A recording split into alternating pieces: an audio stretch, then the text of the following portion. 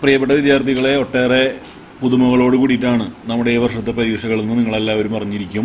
പരീക്ഷാ പേപ്പറിൽ തന്നെ ഒരുപാട് വ്യത്യാസങ്ങൾ മുൻ വർഷങ്ങളിലേതുമായി ഈ വർഷത്തെ പരീക്ഷാ പേപ്പറിനുണ്ട്. അപ്പം അങ്ങനെയുള്ള വ്യത്യാസങ്ങളും അതുപോലെ തന്നെ ഈ വർഷത്തെ പരീക്ഷാ പേപ്പറിന്റെ പാറ്റേണും പരിചയപ്പെടുത്തുന്നതിനാണ് ഇന്നിങ്ങനെ ഒരു വീഡിയോ ചെയ്യുന്നത്. ഇന്നലെയാണ് പരീക്ഷാ പേപ്പറിന്റെ പാറ്റേൺ പുറത്തിറങ്ങിയത്.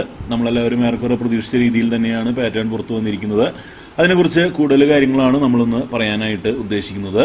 മുൻപുള്ള പല വീഡിയോകളിലും ഞാൻ പറഞ്ഞിരുന്നു നമുക്ക് ഈ പ്രാവശ്യം ഇരട്ടി ചോയ്സ് ആയിരിക്കും ഉണ്ടായിരിക്കുക. അതായത് അറുപത് മാർക്കിന്റെ ക്വസ്റ്റ്യൻ പേപ്പറിന് നമുക്ക് നൂറ്റി ഇരുപത് മാർക്കിന്റെ ചോദ്യങ്ങളാണ് ഉണ്ടായിരിക്കുക. നമുക്ക് മുൻ വർഷങ്ങളിൽ ഉണ്ടായിരുന്ന പോലെ തന്നെ ഒരു മാർക്ക് രണ്ട് മാർക്ക് മൂന്ന് മാർക്ക് അഞ്ച് മാർക്ക്. ഇങ്ങനെ നാല് കാറ്റഗറിയിലായിട്ടായിരിക്കും ചോദ്യങ്ങൾ ഉണ്ടായിരിക്കുക. മുൻ വർഷങ്ങളിൽ നിന്ന് വ്യത്യാസം പ്രധാന വ്യത്യാസം എന്താണെന്ന് വെച്ചിട്ടുണ്ടെങ്കിൽ മുൻ വർഷങ്ങളിൽ നമുക്ക് ഒരു മാർക്കിന്റെ ആറ് ചോദ്യങ്ങൾ തന്നിട്ട് അതിൽ അഞ്ചെണ്ണം മാത്രമേ നമുക്ക് അറ്റംപ്റ്റ് ചെയ്യാനായിട്ട് അവസരം ഉണ്ടായിരുന്നുള്ളൂ. അല്ലെങ്കിൽ ആ സെക്ഷനിൽ നിന്ന് നമുക്ക് മാക്സിമം അഞ്ച് മാർക്ക് മാത്രമേ കിട്ടുമായിരുന്നുള്ളൂ.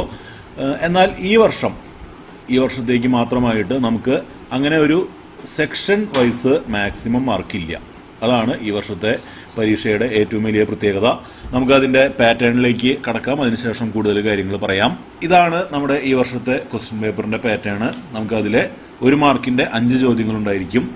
രണ്ട് മാർക്കിന്റെ ഇരുപത് ചോദ്യങ്ങളുണ്ടായിരിക്കും. മൂന്ന് മാർക്കിന്റെയും ഇരുപത് ചോദ്യങ്ങളുണ്ടായിരിക്കും. അഞ്ച് മാർക്കിന്റെ മൂന്ന് ചോദ്യങ്ങളുണ്ടായിരിക്കും.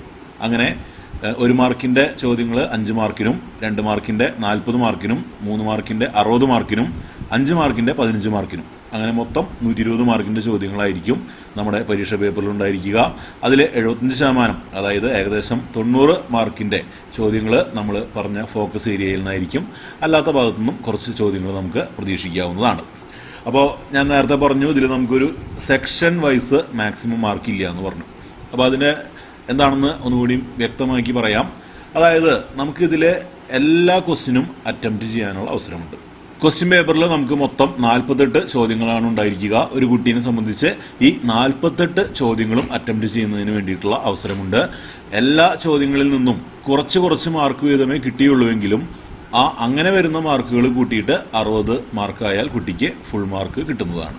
അപ്പോൾ നമുക്ക് അറിയുന്ന എല്ലാ കാര്യങ്ങളും എഴുതുക. അതോടൊപ്പം തന്നെ കുറച്ച് അറിയാവുന്ന കാര്യങ്ങൾ നമ്മുടെ ക്വസ്റ്റ്യൻ പേപ്പറിൽ ക്വസ്റ്റ്യൻസ് ആയിട്ട് വന്നിട്ടുണ്ടെങ്കിൽ അതും നമ്മൾ അതിനുശേഷം അറ്റംപ്റ്റ് ചെയ്യേണ്ടതാണ്. അപ്പോൾ അതുകൊണ്ട് തന്നെ ഈ രീതിയിലുള്ള ഒരു ക്വസ്റ്റ്യൻ പേപ്പർ വരുമ്പോൾ ഏറ്റവും പ്രധാനപ്പെട്ട ഒരു സമയമെന്ന് പറയുന്നത് നമ്മുടെ കൂൾ ഓഫ് ടൈമാണ് നമുക്ക് പരീക്ഷ തുടങ്ങുന്നതിന് മുമ്പ് ഇരുപത് മിനിറ്റ് ഈ പ്രാവശ്യം കൂൾ ഓഫ് ടൈം അനുവദിച്ചിട്ടുണ്ട്. അപ്പോൾ അതിൽ ആ കൂൾ ഓഫ് ടൈമിൽ നിങ്ങൾ ക്വസ്റ്റ്യൻസ് എല്ലാം വായിച്ചു നോക്കിയിട്ട് നിങ്ങൾക്ക് പൂർണമായി അറിയാവുന്ന question number question number circle ചെയ്തിടാം. അതുപോലെ തന്നെ ഭാഗികമായിട്ട് അറിയുന്ന ക്വസ്റ്റ്യൻ നമ്പറുകൾക്ക് നേരെ ടിക്ക് മാർക്ക് ഇടാം. ഇങ്ങനെ നമ്മൾ ചെയ്തു കഴിഞ്ഞാൽ നമുക്ക് എഴുതി തുടങ്ങുന്ന സമയത്ത് നമുക്ക് ആദ്യം പൂർണമായി അറിയാവുന്ന എല്ലാ ഉത്തരങ്ങളും എഴുതാനായിട്ട് സാധിക്കും. അതിനുശേഷം നമുക്ക് സമയം ക്രമീകരിച്ചുകൊണ്ട് ഭാഗികമായിട്ട് അറിയാവുന്ന ചോദ്യങ്ങളുടെ ഉത്തരങ്ങളും നമുക്ക് പരീക്ഷയ്ക്ക് എഴുതാനായിട്ട് സാധിക്കും. അപ്പോൾ നമ്മൾ പ്രത്യേകം ശ്രദ്ധിക്കേണ്ട കാര്യം നമുക്ക് അറിയാവുന്ന കാര്യങ്ങൾ എല്ലാം തന്നെ നമ്മൾ എഴുതാനായിട്ട് ശ്രമിക്കണം. ഒരു സെക്ഷനിൽ നിന്ന് മാക്സിമം മാർക്ക് ഇല്ല. എത്രയൊക്കെ ക്വസ്റ്റ്യൻസ് നിങ്ങൾ അറ്റംപ്റ്റ് ചെയ്യുന്നു അതിനെല്ലാത്തിനും മാർക്ക് ഇടും. എല്ലാം കൂടി കൂട്ടി നോക്കിയിട്ടാണ് നിങ്ങളുടെ ടോട്ടൽ മാർക്ക് വരുന്നത്. അപ്പോൾ ഇതാണ് നമ്മൾ ഇന്ന് പ്രത്യേകമായിട്ട് വീഡിയോ ചെയ്യാനായിട്ട് ഉദ്ദേശിച്ചത്. അപ്പോൾ എല്ലാ കുട്ടികളും ഇതിന്റെ ഈ വർഷത്തെ പ്രത്യേക സാഹചര്യത്തിൽ അതിന്റേതായിട്ടുള്ള അഡ്വാന്റേജസ് എടുക്കണം. എന്ന് പ്രത്യേകമായിട്ട് നിങ്ങളോട് പറയുകയാണ്.